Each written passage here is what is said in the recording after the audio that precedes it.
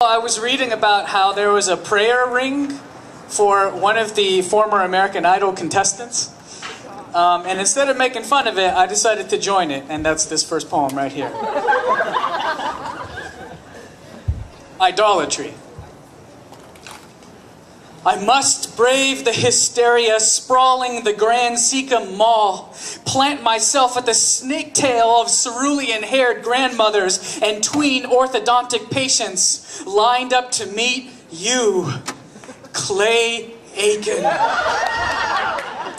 When my turn arrives and eye to eye with you, the idol, the man, the almighty, seated in the regal chair normally occupied by Santa Claus and the resurrection rabbits, I will ask you to autograph your name under the well endowed title of your debut CD, The Measure of a Man. Laser etched with your impassioned testimony that if you were invisible, you would watch me in my room and make me yours tonight. I will pray for a picture me nestled next to your pixie frame to grace the wallpaper of my laptop and my living room. Lavished with life size statues of you, I financed on Clayaway. I will, I will present you a sharpie, rip my fan shirt open, beg you trace my tattoo of your earthy name, Clay. The C hinged on my sole blade of chest hair, the Y leaning against my left areola. And I will say, woe the day America relegated you, the top runner up, when Ruben Studdard the velvet teddy devil from the 205 squashed your elfin 919 spirit. But my faith remains aching, not stirred. I would still sacrifice my every night and weekend minutes to cast more ballots for you than all the candidates who contested the Bush dynasty combined. I can't keep enough copies of your Christmas album to harmonize with your ringtones I downloaded onto my Clay TNT. I worship out the South Orange County chapter of the Church of Claymates, where we genuflect toward your anemic feet and proclaim you no false idol. My Lord, your name is never to be forsaken.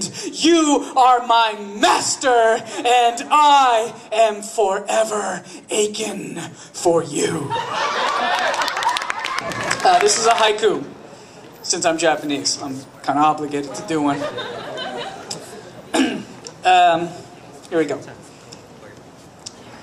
Voluptuous curves, budding hips, blossoming breasts. I need to lose weight. This last poem uh, is dedicated to Fred Korematsu, and it's called Enemy Combatant. On a serious tip here.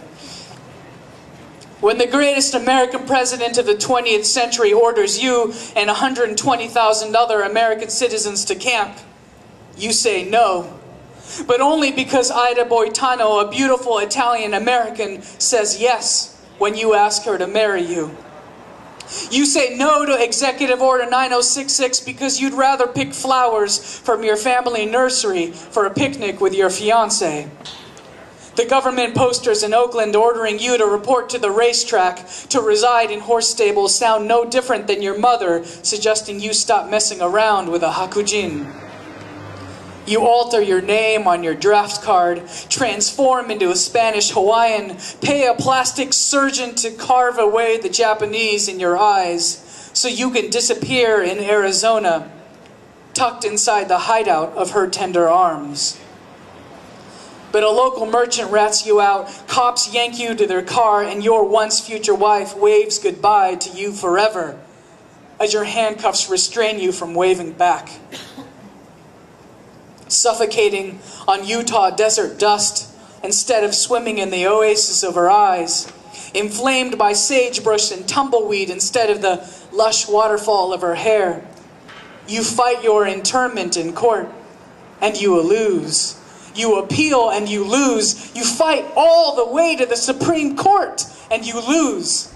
But each stinking defeat eclipsed by the loss of your lover, whom the FBI pressures to never speak to you again. Fred, when I first studied your case, I relegated you to an accidental footnote, an unprincipled resistor, a lame plaintiff in the pages of history because you only said no to hide with your amour because Topaz was just a camp where you couldn't concentrate without your wife to be. Today, 12 years after I learned your story, I love a woman named Dima who dances a mean debke, warms her cold feet between my thighs, curls up to me like her cat Hobbs, and whispers poetry in my ear as perfect as the little dipper of dark freckles on her back. Like you, I asked her to marry me. She said yes. And if the government ordered me behind barbed wire, allowing me only what I can carry, I know I couldn't stuff my heartache into a suitcase. Fred, now I finally understand. You were fighting for love. You spoke up for Bernard Flowers and anyone else driving while black because behind every arrest, some sweetheart somewhere drowns in distress, submerged near the empty side of a bed. You fought for Jose Padilla and detainees in Guantanamo Bay because even so called enemy combatants leave lovers alone under the moonlight. So, as the government stains your name, the precedent it cites to suspend civil liberties due to so called military necessity, I proclaim your name sacred. The source of my strength to face down the 31% of Americans willing to cage my beloved behind the same fence you once stood just because she is Arab. I adore her so much. If anybody threatened to cuff my hands away from hers, I would fend off an Air Force, fist by fist, to remain struggled at her side.